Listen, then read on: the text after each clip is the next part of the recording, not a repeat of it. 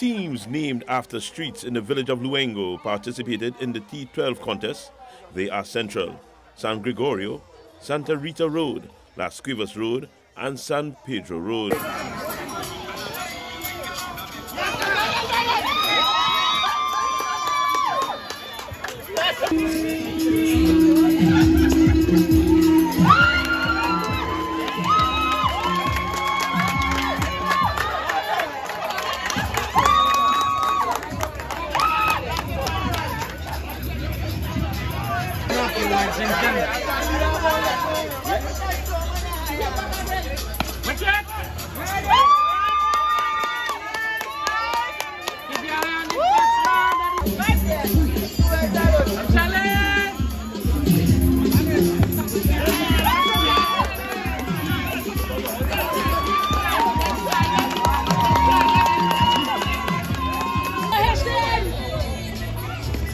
Yeah.